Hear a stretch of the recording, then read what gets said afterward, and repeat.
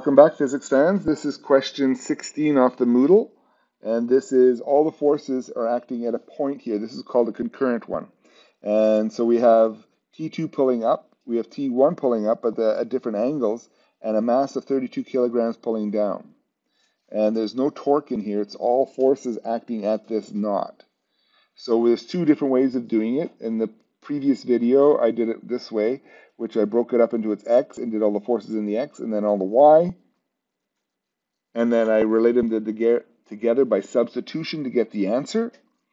But this time I'm going to show you how to do it in a 2D triangle. Okay, this one is just a little bit more visual actually on how to do it. So you kind of have to be careful on how you draw your triangle. It has to be kind of accurate so that you feel that it's true, that works, okay?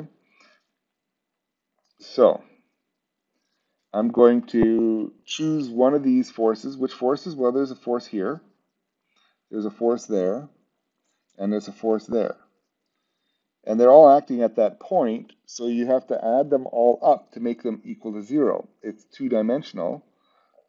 So all I have to do is draw a two-dimensional triangle with these three lines and make a and well, make a triangle. So I'm going to show you that T2 can go up, okay, and then do the force of gravity down, and then do T1 up.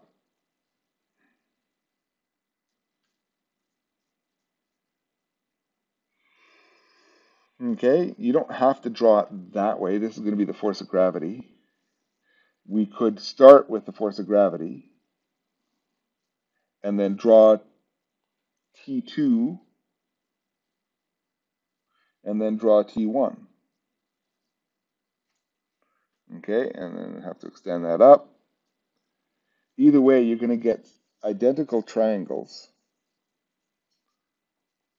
Okay, the force of gravity is equal to mg, and that is going to be 32 kilograms times 9.8, and that's going to be 313.6 newtons.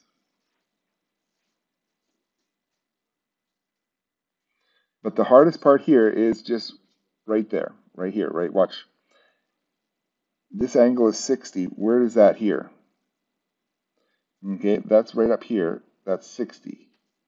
So that makes this angle here 30. Now we have one of the angles in the triangle. Makes me happy.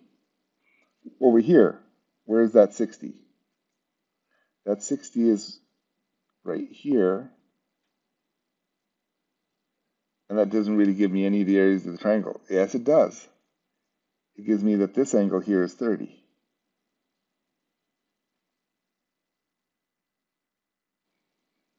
Okay, next one I'm going to just switch to red over here. This angle here is 55 degrees in mine. Where's that 55 degrees in this triangle here? That's right here. And that is also right here.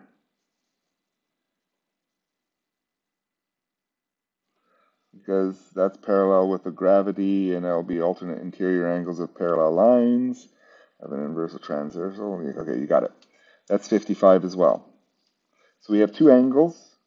That makes that 85. That makes this angle here 95. Now we have solved the triangle because if you have all the angles, all two of them, and then the third one because of sum of the angles they have to equal 180, and we have one of the sides, 13.6, we can get the other two sides by sine law. Let's just do the, the geometry over here so we get to practice there. Where's this 55 over here? That's right, it's right there. That's 55. So if that's 30 and that's 55, then this has to be 35, because 55, 35, right angle triangle, and or this yellow angle, this yellow triangle, that yellow angle there, sorry, the yellow angle, that's going to be uh, not 105, whoops, 95 degrees. 35 and 60 is 95. So now we use sine law. What is sine law? Let's just do, remember sine law, we have a triangle and we have angle A and the opposite side of that is small a. And then if we have angle capital B and the small angle and the side across it is B, we get that sine of A all over A is equal to the sine of B all over B. That's sine law. And we can also do C and C as well. That's how sine law works. So if we have this triangle with the angles labeled out, it becomes very quick. Okay? It's the sine of, well, we have this side and 95. So the sine of 95 all over 313.6 has to equal that's the sine law, has to equal, let's try for t1, that has to equal sine of 30 over t1. At that point, I rearrange it and I get t1 is equal to 313.6 times the sine of 30 divided by the sine of 95.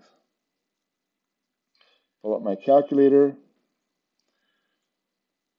and I get, uh, that was 32 times 9.8, which is the 313.6, that's its weight, times it by the sine of 30, and divide it by the sine of 95, and I get 157.4.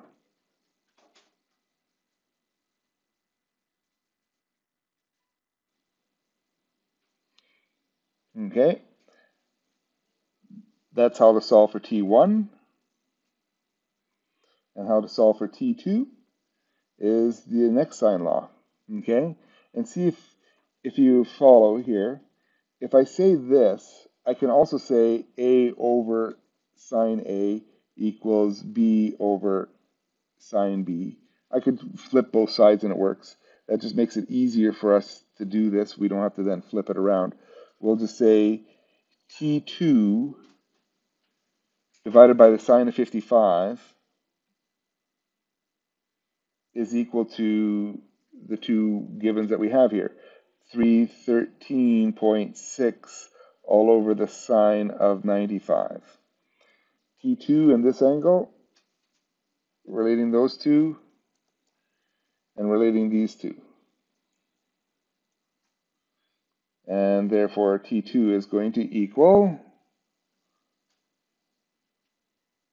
I'll just plug it into the calculator without showing all my work. Work will be my calculator for you guys. Will be this number 313 up here. Multiply it by the sine of 55 and divide it by the sine of 95 times the sine of 55 divided by the sine of 95 and that should be 257.87. Woohoo!